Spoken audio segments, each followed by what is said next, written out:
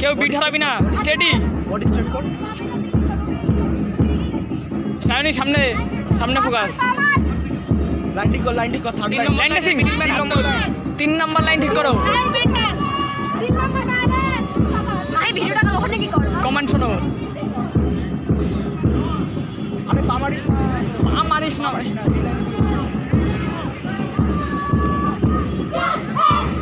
সবাই ভালো।